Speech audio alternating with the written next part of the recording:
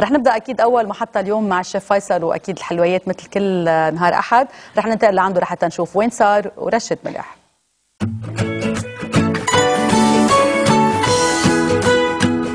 طبعا خير مشاهدينا واهلا وسهلا فيكم. طبعا بالبداية كمان بحب أعزي جميع أهالي الضحايا اللي سقطوا بالانفجار ونتمنى الشفاء العاجل لكل الجرحى. ونتمنى الأمن والأمان والاستقرار للوطن الجريح. نحن بالبداية اليوم رح نبلش نحضر وصفة ال bruschetta. Fig and strawberry bruschetta. كلنا بنعرف بروسكيتا آه شيء بياخذوه مثل ال canapé مقبل آه إيطالي. فنحن هون رح نعمله آه على يعني طريقتنا بالحلويات. وصفة بتتألف من خبز الفرنسي أو الباجيت أو إذا عندكم خبز ال brioche زبدة شي 45 جرام اكليل الجبل 10 جرامات. راح أحط مع الزبدة الدايبة مثل ما شايفين هون هاي الزبدة. كمان هون عم نحمي المقلة أو الجريل. دهنة زبدة صغيرة. هون اكليل الجبل مع الزبدة بيعطي نكهة وطعمة كتير طيبة.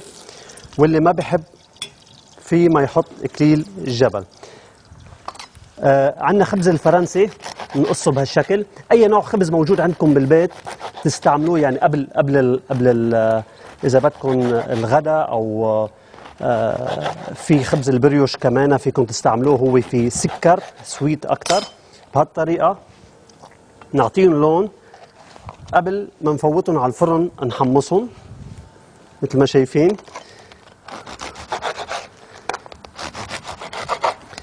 برجع بكرر كمان بتطلع الوصفة كتير طيبة. إذا استعملنا خبز البريوش.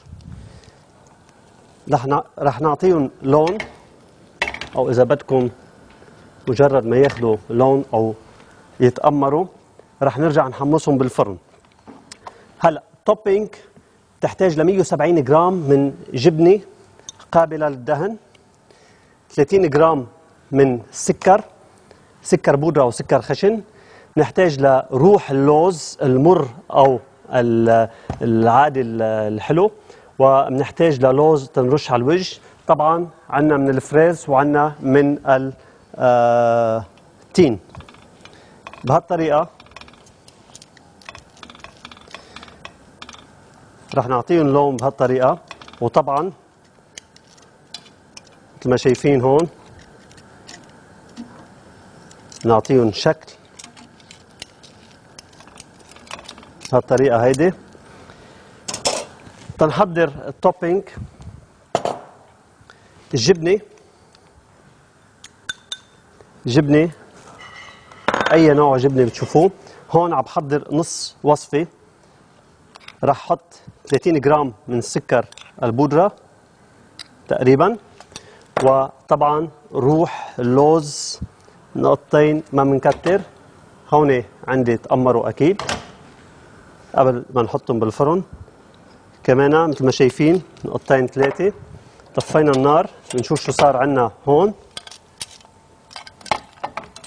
فينا نكمل تحميصهم كمان على المقلة الجريل مثل ما شايفين.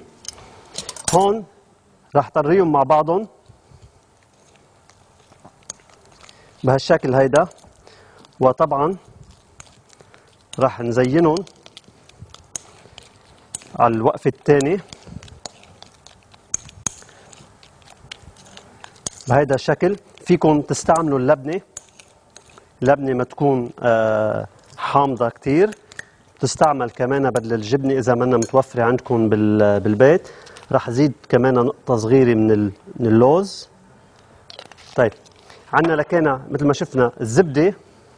راح شربهم زبدة منكهة بإكليل الجبل. بهيدا الشكل. هلا أكيد بروسكيتا مع البندورة والكزبرة والثوم بنكهوها أكيد الزيت زيتون مع مع الثوم. مثل ما شايفين كمان راح نقلبهم. بهالشكل هيدا. ونعطيها الزبدة على الجنب الثاني ولع النار شيء بسيط كرمال يتأمروا ويتحمروا. لكن نحن ما لنا بحاجة نرجع نحطهم بالفرن. ما لنا بحاجة نرجع نحطهم بالفرن. راح نتركهم يتحمصوا على الجريل هون. كمان الميل الثاني نعطيها من الزبدة. بهالشكل تتشرب معنا ريحة الروزماري كتير طيبة وأكيد بتعطي طعمة كتير طيبة معها وخاصة إذا عم نستعمل الجبنة أو اللبنة فيها عرق حموضة. وفينا نحط لها رشة ملح. رشة ملح.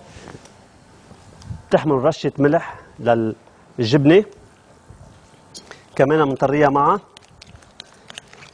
هون الحشوة جاهزة عندي أو topping لها بيبقى عندنا هلأ بالوقفة الثانية نحن وياكم.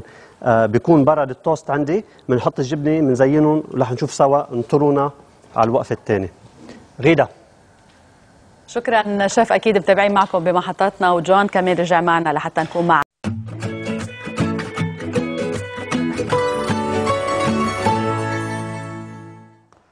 أنا بعدي مخليه حدي الطابة هون ال stress ball اللي أعطتني اياه هبة خاصة وأنه عليها كمان smiling face كمان على على الطابة. يعني بتعمل مثل ما قلنا effet double لحدا عم يبتسم لي وأنا عم فش خلقي كمان وعم فش stress رح ننتقل هلا لحتى نشوف الشيف فيصل وين صار لأنه ريحة كثير طيبة. بننتقل لعنده ورشة ملح.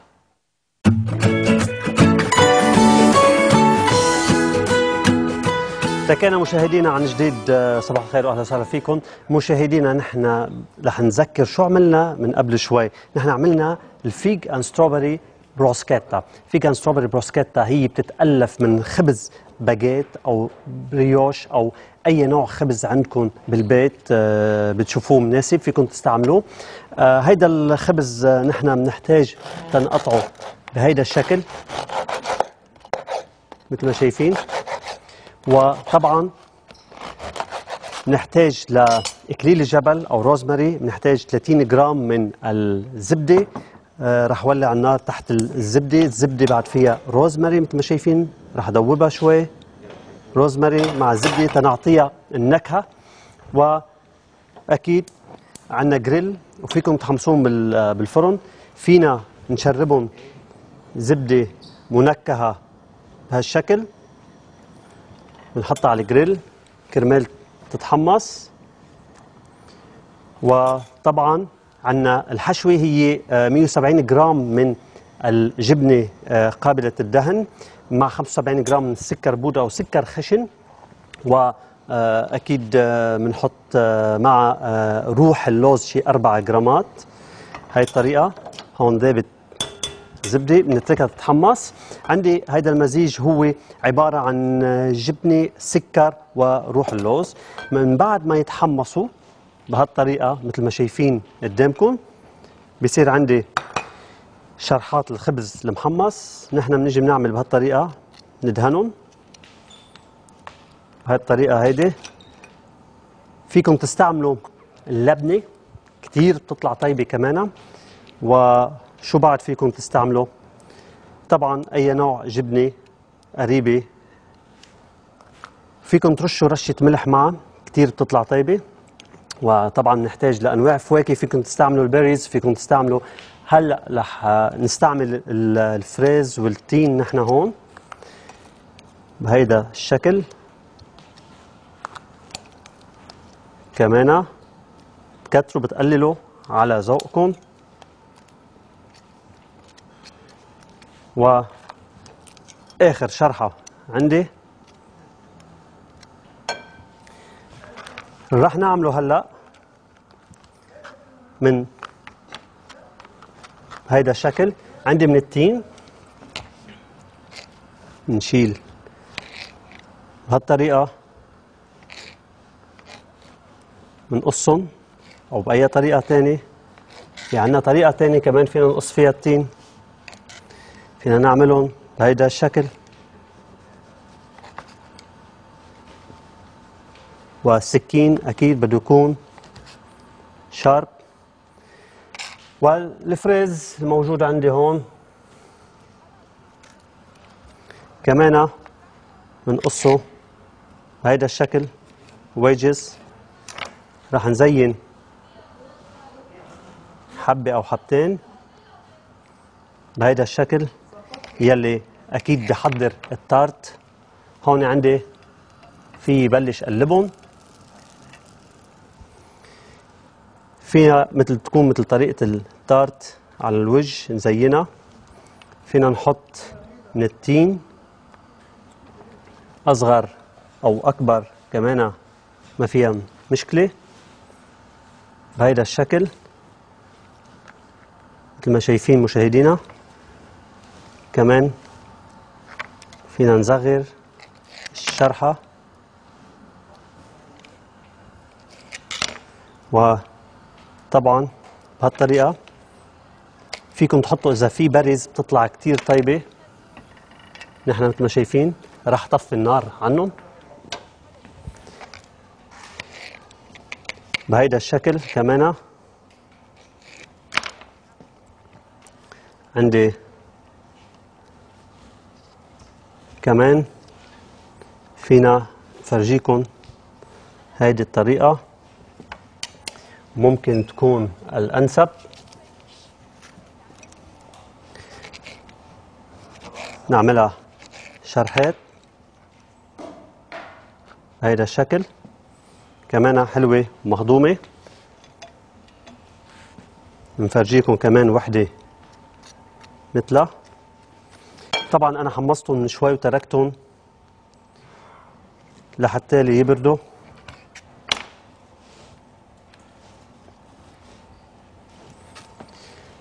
هلأ أكيد لوز محمص 25 30 جرام يلي بتشوفوه مناسب.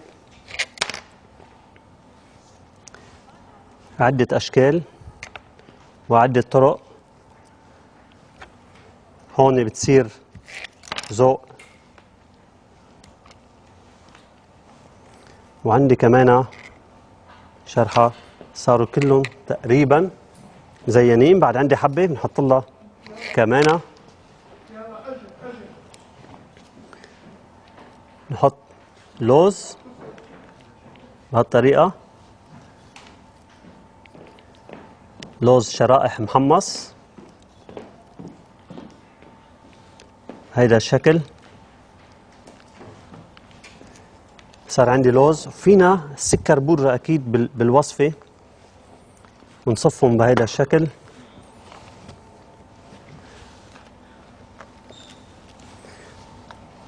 منظرهم كتير حلو. فينا نرش لهم رشة سكر بودرة بهيدا الشكل نقول لكم صحتين جربوها. وغيرها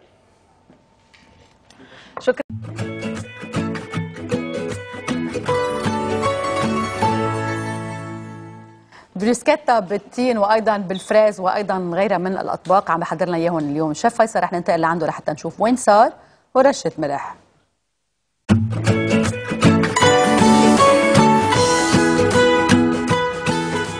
مشاهدينا عن جديد صباح الخير واهلا وسهلا فيكم. لكان ال fig and strawberry bruschetta جاهزة معنا. حطيناها زيناها بعرق من الحبق. الحبق بيروح معها. وكنا الزبده طعمناها بإكليل الجبل أو الروزماري. والخبز البريوش أو الباجيت قصيناه شرائح وحمصناه حمصناه آه، على الجريل. وبعدين رجعنا حضرنا آه، حضرنا طبعا ال- ال- المزيج هو الجبنة مع الفانيلا مع روح ال- اللوز والسكر. هيدا الصحن كله سوا. أوبا فيك تاخده ولكن وصفتنا اليوم هي اسمها آه، coconut mango tres leches مكسيكية. coconut mango tres leches وصفة كتير سهلة طيبة آه، لنا جاي من المكسيك. ولتحضيرها طبعا آه، بنحتاج ل آه، ست زلال بيض ست صفار بيض. آه،. آه، 100 جرام من السكر تنعمل ميرينج أكيد رشة ملح معهم 150 من طحين القمح أو طحين الكامل. آه 30 جرام من baking powder ست صفار قلنا. 50 جرام من السكر وزيت جوز الهند. زيت جوز الهند. إذا ما لقيتوا زيت جوز الهند في طريقة هو زيت دوار الشمس. تغلوه double quantity إذا نحن بدنا 65 ملي بنغلي بنحط 100 ملي بنغليهم مع ملعقتين من جوز الهند برش جوز الهند وبنرجع نصفيهم تا نستخلص نكهة جوز الهند. بس أكيد موجودة بالسوبر ماركت آه، ما راح فرجي أكيد ال- القنينة ما راح نعمل لها دعاية. حليب جوز الهند موجود أكيد علب كمان بالسوبر ماركت وموجود آه، powder لنحله لنص لتر بنحتاج ل 150 جرام من مسحوق حليب جوز الهند. هيدي صارت المقادير عندي هون. آه للتحضير طبعا ست زلال بيض بالمكنة مع رشة ملح ورشة ملح. هي الوصفة هي 3 جرام ونص من الملح. على طول نستعمل بس نعمل ميرينج. نحن بنحط رشة ملح. عندي طبعا ست صفار بيض ست صفار بيض. راح نحط معهم 50 جرام سكر 45 أو 65 ملي من حليب جوز الهند و45 من آه زيت جوز الهند. عندنا من الفانيلا 12 جرام و3 ونص من ال- آه الملح. راح نحط الفانيلا مع الصفار. نفس الوقت راح نبدأ نحضر الميرينج على الخفيف. السكر مثل العادة بنضيفه تدريجيا. تدريجيا مجرد ما آه، يبدأ الزلال يشتغل فيه البروتيين يبيض يبلش يرفخ بنسميها أو أو يطلع. بنضيف أول دفعة أو جرعة من السكر. هون بعد ما اتحرك على على الخفيف أو على البطيء رح نبلش فيهم.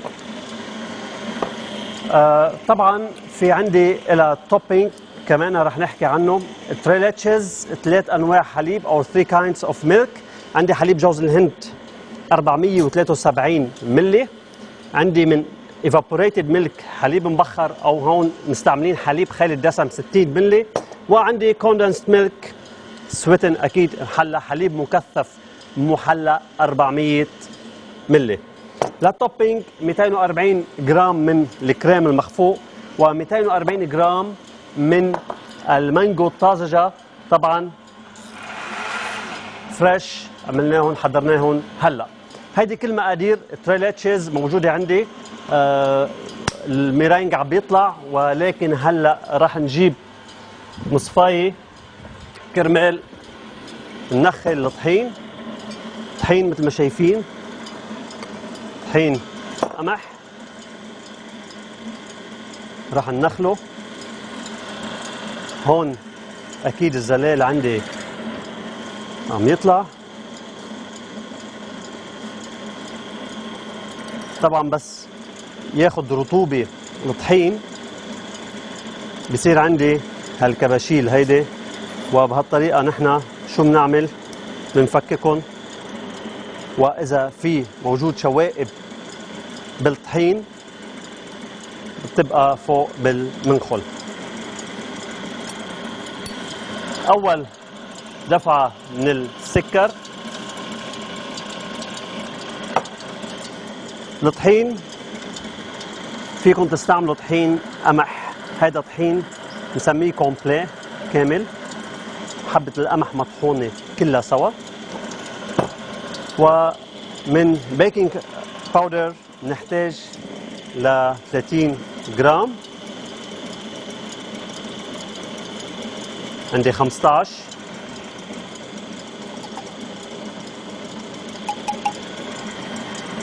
ملعقتين من ال baking powder الملح 3 جرامات ونص وطبعا عندي رشة ملح مع الميرينج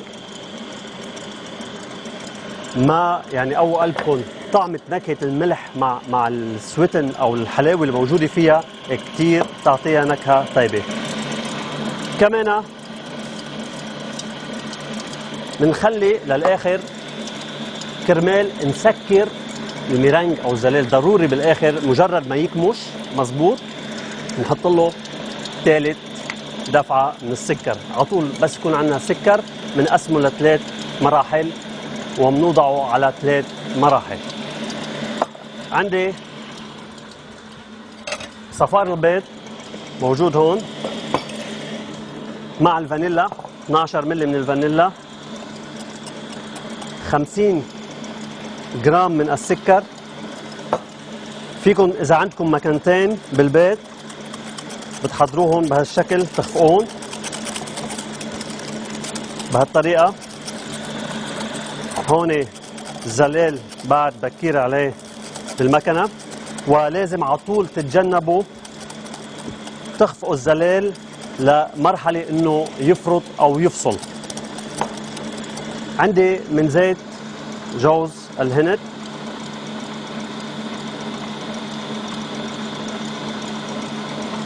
خمسة وستين ملي مع الصفار مثل ما شايفين.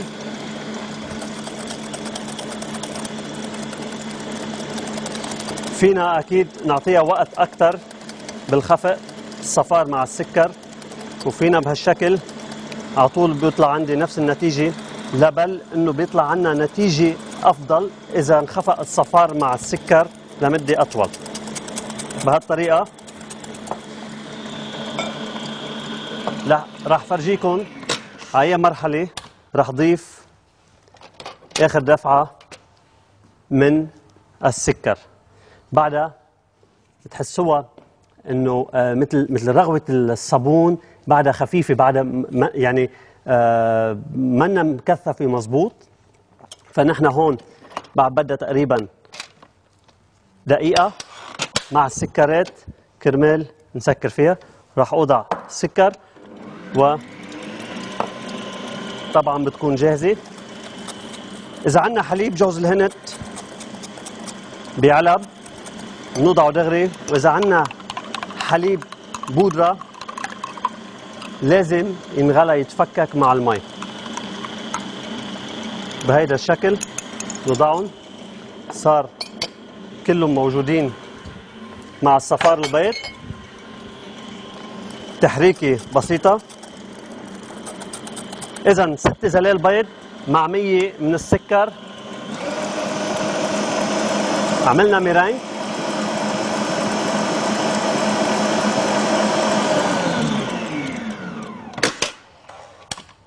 صاروا جاهزين؟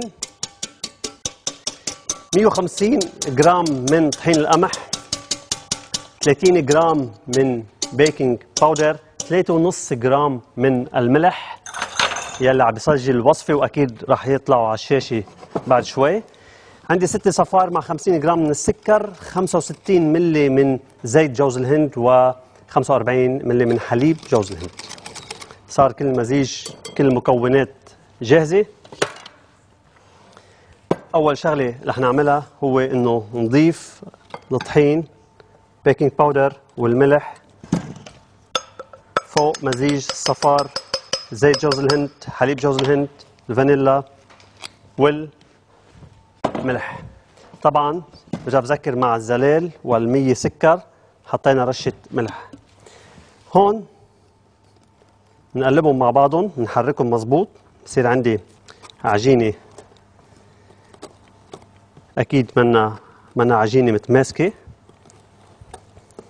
لزجة بهيدا الشكل. يتفككوا مزبوط مع بعضهم.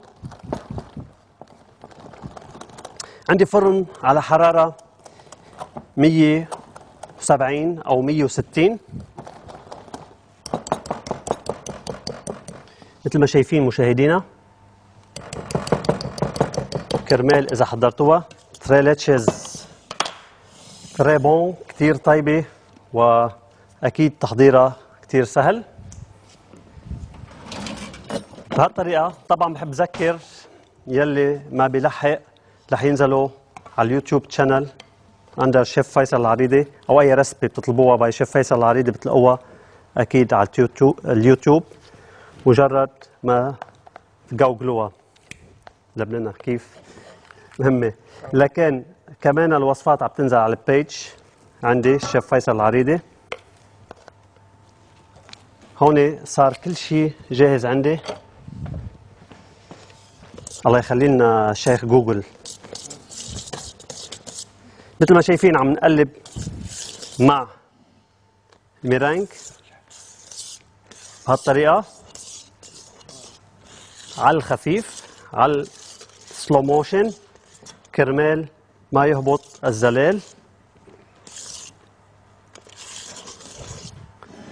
صارت جاهزة. يبقى عنا ننقي القالب. ضروري القالب يكون مسكر كعبه كرمال. بس نشرب. فينا نستعمل هيدا القالب. فينا نستعمل هيدا القالب. وفينا نستعمل قالب الكيك. فينا نستعمل اثنين. رح نستعمل هيدا القالب أو إذا عندكم قالب مثل هيدا فيكم تستعملوه كمان. بس أكيد ما يكون صغير. رشة زيت.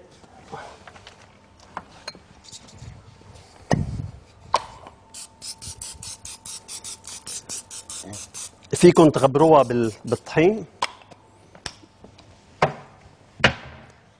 فيكم تغبروها بالطحين وفيكم بس رشة زيت.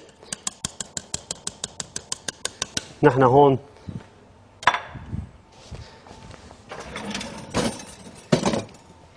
ضروري. أنتوا عم تخبزوها طلعوا. قبل تقليبة صغيرة بالسكريبر. هيدا الشكل. ريحتها كتير حلوة.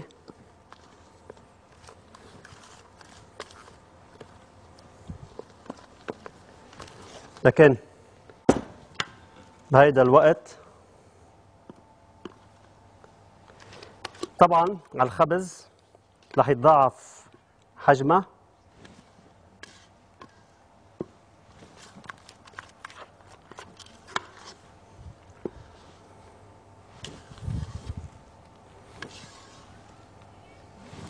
مثل ما شايفين. لكن عندي فرن هيدا الشكل. تقريبا تحت النص تحت الوسط القالب. بيتضاعف حجمها. على الأكيد بيتضاعف حجمها. وبتاخذ تقريبا خبز لمدة 25 دقيقة أو ثلث ساعة أقل. لازم يكون في عنا صينية. عندي صينية كعب الفرن وعندي صينية وطبعا سماكة القالب. حرارة قلنا 170 راح نوضع ربع ساعة أو ثلث ساعة. لبينما طبعا تستوي أو تنضج. آه، بهالوقت نحن راح نبدأ تحضير ال tres leches اللي هو ال punch المؤلف من حليب آه، مبخر أو حليب آه، خالي الدسم. حليب مكثف وعنا حليب جوز الهند. ومنروح بريك صغير نحن وياكم وبنرجع نكمل وصفتنا لليوم.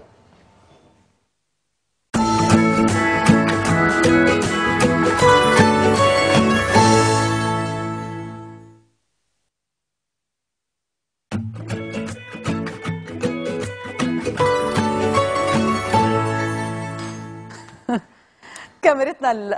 كاميرتنا كاميرتي هي كاميرتي زاهر هي أنا هون. آه، okay، إيه إيه اخذ هيدا الشيف. فيصل. okay. إيه. يلا تفضل. محطتنا الأخيرة أكيد آه، عم فكر بالكاميرا كانت مع شيف فيصل أكيد لحتى نشوف وين صرنا وأكيد التحضيرات الأخيرة ورشة ملح.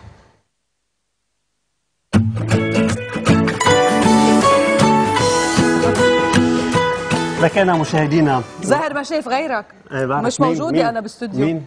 زاهر آه. ما شايف غيرك؟ ليه ده هلا هو صحيح؟ إنه قربنا على طول يعني بس انه غيدا مغطية منورة. ميرسي. لكن آه اليوم عم نحضر tres leches tres leches قلنا نذكر إنه جاي من المكسيك مكسيك. ثلاث أنواع حليب آه عندنا المكثف آه، حليب جوز الهند وحليب ما عندنا المكثف. آه خالي من الدسم. اخذته للمكثف أنا بعرف. خلص. رح شيل حصتك. غرامي حليب هيدا على فكرة. جوز الهند. كثير طيب ها؟ yummy، و- فيني ولل diet كلها. رائع. إيه. بجنن. يعني كل يوم لازم تاخذي شي 400 ملي إيه وحط لي الميزان بعدين هيك هيك. حدك رفع العودة بتصيري. حط لي الميزان حدك بعدين. وين الميزان؟ هلا ضبينا إيه، هلأ مكسره. digital ميزان ذهب. لكن الحليب جوز الهند عم بيغلي عنا. حليب خالي من الدسم نصف حليب. كوب. آه 45 ملي okay. عندي من الحليب آه، جوز الهند 473 ملي و400 من من شو؟ ما تحطهم كلهم الحليب المكثف أكيد لا إيه مش كلهم قلبي عم بيروح معهم لا عم ترجف إيدي إيه إيه إيه. خلص بكفي بكفي؟ خلص بكفي خليني هون أو بكفوك يا غيدا؟ بكفوني هلا إيه؟ بمشي حالي هلا هيك. لآخر النهار عطيني رح نزعبر عليكم بشي 50 60 جرام كرمال غيدا مشاهدينا okay لكن هلا هن لازم يحطوها كلها للقنينه هي 400 هلا حطيناها. كلها هلا ماشي الحال 400 في شوي ملي. مش قاسمين مع التحريك. مجرد ما يغلو.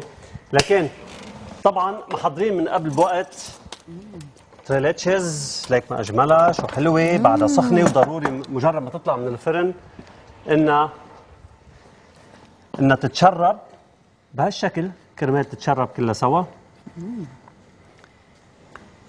ضروري نعملها هيك؟ كثير طيب إنه حضرتها عن جد. إيه. حليب بتعرفي كيف. حضرته؟ إيه. كثير سهل. تروح على السوبر ماركت؟ عم تفتح العلبة. تفتحي العلبة. بس قبل بدك تدفعي حقها. إيه أكيد. لكن مجرد ما يغلي عندنا الحليب رح نشربهم لل Tres Leches طالعة تقريبا مثل sponge كيك. قد إيه بدنا ننطر عليها شيف؟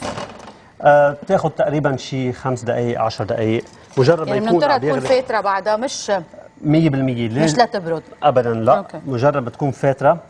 يعني آه هي سخنة بيمشي الحال بس أكيد ال punch اللي عم نحضره ثلاث أنواع حليب ما عليها. لازم يكونوا عم بيغلوا. يعني يا هون يكون كتير سخن وعم بيغلي المزيج وهون تكون فاترة يا يا العكس. يا العكس. okay. وال topping طبعا جاهز. نحن بهالوقت. غيدا. مستمتعة بالحليب المكثف. بذكرني بأيام الطفولة يعني من شي أربع خمس سنين يعني. بس؟ بس إيه مش خمس سنين؟ لا. خمس سنين. غيدا بعدها حرام يعني. عمرها ماشي 20 سنة. بعدك صبية باول حياتك. 20 ونص. يا وهالصبايا موجودين هون اسم الله عليهم مش بناتك؟ بلا. قد إيه عمرها بنتك الكبيرة؟ معي؟ سنة ونص. سنة. حبيبتي هرب حتصير أربع... هر- هربوا. حتصير ودانا. 14 والصغيره 12 ودانا. دانا 12 دانا 12 هلا بنتي دانا كمان اسمها دانا. إيه. راح تخوت لأنه كل يوم بتقول لي بابا خدني معك. بتقلها على درب بعيدة؟ على درب بعيدة مثل ما كنت عم تغني هلا للسيدة فيروز. لكن مشاهدينا هلا. أغلت على النار. 100% آه هلا لأنه هون فترات صار فينا نحطه سخن. ما هيك بس انت فينا فينا نشربهم. عم تشرب بالإذن. إيه تفضل. أحسن ما يصير فيكي مثل ما صار بغادا. خبروكي شو صار بغادا؟ لا شو عم تعمل أضرار صاير لا بالاستوديو لا لا خليها. ما بتعرفي شو بيصير يا بعدين. حزينة عم- مش عم تتحمل الضربات ما بتعرف شو بصير بعدين. نحن بهيدا الشكل بنشرب هلا بفكروها نمورة مكسيكية عن جد؟ وريحة الحليب بالجوز الهند كمان طلعت. كثير مهمة. طيبة. كمان بذكر إذا ما بنجربهم كلهم؟ إيه. آه تقريبا. بس بحب ذكر كمان في طريقة إذا ما لاقوا آه زيت جوز الهند المشاهدين. في آه السمنه النباتية موجودة بالسوبر ماركت. كمان فيكم تشتغلوا بنفس الطريقة تغلوها مع برش جوز الهند. أكيد بتدبلوا الكمية. وبتغلوها مع ملعقة أو ملعقتين من برش جوز الهند وبترجعوا تصفوهم. هون نحن تدريجيا عم هلا مصرين نجربها. يعني خذوا الشيف فيصل. ضروري تفضحونا على الهواء تبهدلونا هلا لا، مصرين؟ عم تعملي testing إيه إيه عم بعمل testing testing ده طبق حضره الشيف فيصل باعتقاد كثير كثير كثير صعب كثير تعب عليه عن جد للصراحة. أنا شفته كيف عم بكثف الحليب. تخليك وكيف بدنا نحط لهم الوصفه للمشاهدين على يلا هلا بنمرقها على على, الهواء. على الهواء. أوكي. 273 ملي من ال أو 473 ملي ما صبت لهي من ولهي أياهم؟ من الحليب جوز الهند.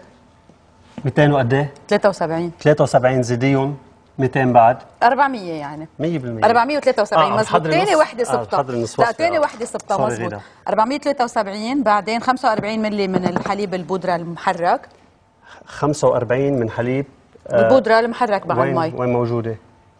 حليب البودرة. 65 ملي من حليب. 45 أنت قلت لي 45 نحن عم نحضر ال هلا هذا بففتح المخ ما بيسكر المخ. خليتشيز عم نحضر طيب أوكي. لا أنا عم بحكي على الصوص؟ على الصوص. آه على الصوص؟ إيه. الصوص آه، فيها 473 ملي من حليب جوز الهند. و45 حله 400 إلا شي 200 300 أكلتهم غيدا من إيه، صحتين. الحليب المكثف 1000 عافية صحتين. وعنا حليب الايفابوريتد ميلك 60 ملي أو حليب خالي من الدسم. نحن عم نشرب فيها وبعدها اسم الله عم تشرب قبل ما نحط لها التوبينج رح نحاول نقلبها ولكن ولكن ولكن.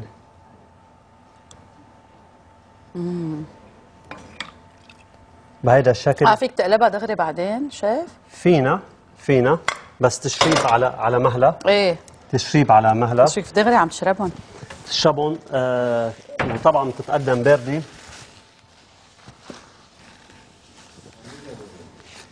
بعدها عم تشرب اسم الله. عطشانة كثير عندي ال topping اللي حضرناه هو 240 من المانجو.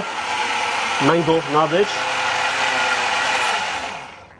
240 من الكريم المخفوق اخترت اليوم جوز الهند كمان حمصه. محمص. إذا بدكم. وعندي الكريم المخفوق.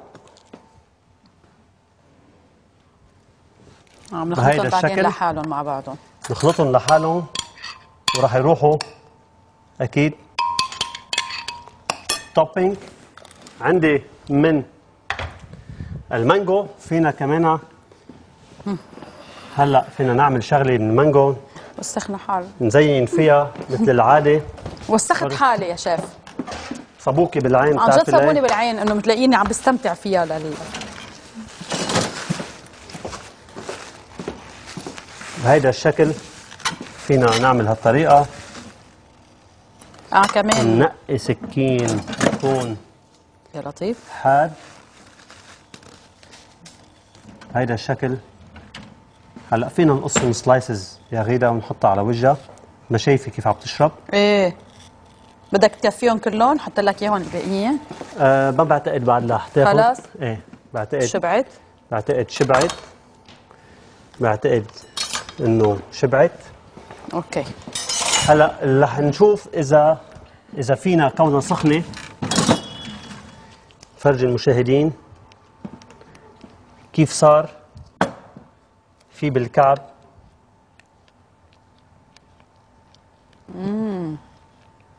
ما شايفين هون؟ رح حاول. إقلبها.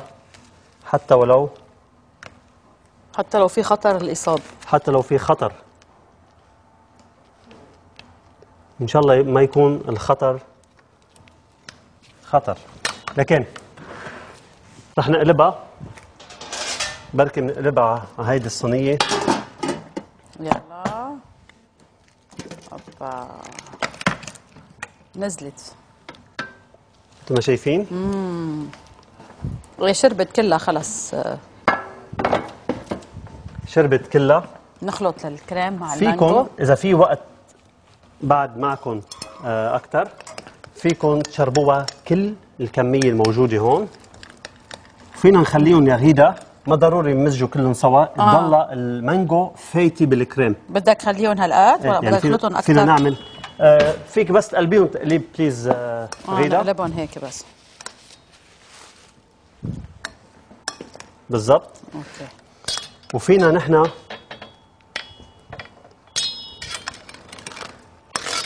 فينا نوضع الجوز الهند المحمص على جنبها بالضبط. okay. يعني فينا نعمل هالطريقة. آه ما بدك ينخلطوا completely إيه ضلهم مبينين. بعدها سخنه ولكن رح يمشي الحال. هن رح يكونوا topping كتير طيبة.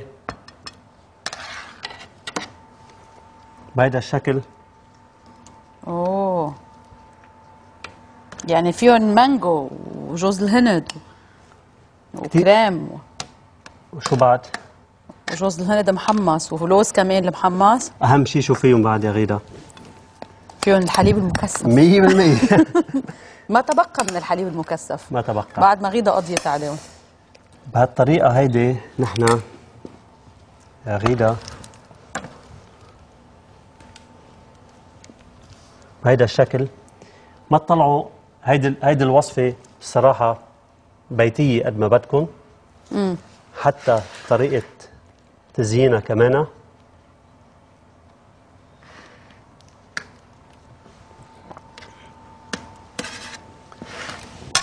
أوه هلا بدك تحط جوز الهند Tres Leches Tres Leches جوز الهند. المحمص المحمص رح نعمل sorry. بدك شلك هاي؟ فينا نشيلها ولو. كمان أهلا وسهلا ميرسي. فينا نعمل هالطريقة. آه إيه مشان نزينها. ما شايفين؟ على جنابها.